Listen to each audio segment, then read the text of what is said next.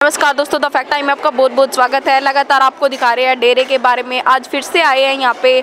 यहाँ पे आने वाले लोगों से जानते हैं इनका क्या कहना है डेरे के बारे में। नमस्कार मैम। नमस्कार जी। आपका शुभ नाम? विमला देवी। कितने टाइम से आ रहे हो? चौबीस साल से। चौबीस सालों से आ रहे हो। यहाँ पे जो आई कैंप लगाया है ये किसके लिए है? ये हमारे सतगुरु की याद में लगा है। और ये सब मतलब पूरी दुनिया के लिए कोई भी आओ और अपनी आइज़ बनवाओ सबके लिए फ्री सब कुछ। रहना खाना नहाना धोना सब। लेडीज़ की कैसी व्यवस्था की गई है? बहुत अच्छी। लेडीज़ के लिए लेडीज़ डॉक्टर और जेंट्स के लिए जेंट्स डॉक्टर और बहुत अच्छी खाने पीने की बहुत सुविधा है। कुछ भी चाय दूध ब्रेड सब कुछ अच्छा खाने के लिए बहुत अच्छा दे रहे हैं। मैं भी इसी में सेवा करती हूँ लंगर में लंगर समिति में। हर जाति के लोग आ सकते हैं। हाँ यहाँ तो कोई भी आ जाओ यहाँ जाति पाति का कोई चक्कर नहीं। जाति पाति का तो यहाँ चक्कर नहीं सतगुरु जी ने ख़त्म करा क्या चक्कर सब जाति पाति का। सभी एक धर्म के मानते हैं लोग सब एक धर्म के। महिलाओं की सुरक्षा कैसी है? बहुत अच्छी। महिलाएँ के लिए सब कुछ अलग है जेंट्स के लिए सब कुछ अलग है। बहुत अच्छी सुविधा है। बेटी भी हैं यहाँ पर। बहुत बेटी आई हुई, उनके लिए बहुत अच्छी सुविधा है। रात को पैरे भी, पैरे पे बैठते हैं हमारे जैसी जो हैं, वो पैरे पे बैठती हैं। इतनी मतलब इतनी तो अपने घर पर भी नहीं है, जितनी यहाँ है।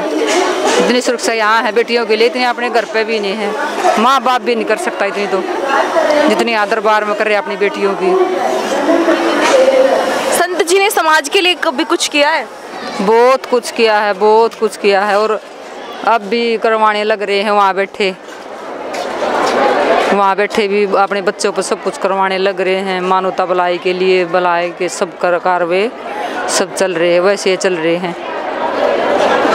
आज ज़रूरत है समाज को संत जी की? बिल्कुल ज़रूरत है बहुत पीछे जा लिया सतगुरु के बिना बहुत नशे आगे बढ़ते जा रहे हैं और मानवता बिल्कुल वो तो सत्संगी तो वैसे ये कर रहे हैं, लेकिन दूसरे लोग तो बहुत पीछे जा रहे हैं ना जिनके नशे छटवाने थे वो तो जिनके घर स्वर्ग बनाने थे आज वो नरक जैसे हैं सतगुरु जी होते तो आज उनके घर स्वर्ग हो जाते।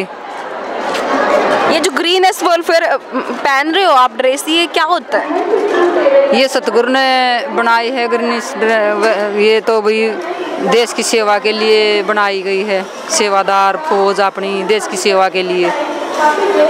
करते हैं ये लोग जो ग्रीन एस वेलफेयर के फोर्स विंग के फोर्स विंग होती है जो। कुछ भी सेवा मिल जाओ सफ़ाई अभियान या कोई भी रोडों पर कोई भी एक्सीडेंट मिल जाओ कोई भी पशु पक्षी कोई तड़पता मिल जाओ हर हर चीज़ मांग रहते हैं। गरीबों को कपड़े बांटने गरीबों को हर चीज़ की कुछ भी सेवा आ जाओ आगे रहते हैं सब क्या है मैं। सरकार से क्या अपील करना चाहोगे? सरकार से तो यही अपील है कि भी देखो संत जी को जल्दी रिहा करना चाहिए, क्यों? समाज में उसकी बहुत ज़रूरत है। बहुत नुकसान हो रहा है समाज में, बहुत नशे बढ़ रहे हैं। माता बहनें बहुत चिल्ला रही हैं, घर नरक जैसे बन चुके हैं। तो दोस्तों, ये थे रियल फैक्ट जो हमने सूत्रों के हवाले से आपको दिखाए हैं। आपकी क्या राय है? कमेंट बॉक्स में ज़रूर डालिएगा। देखते रहिए द फैक्ट आई। चैनल को सब्सक्राइब करना ना भूलिएगा।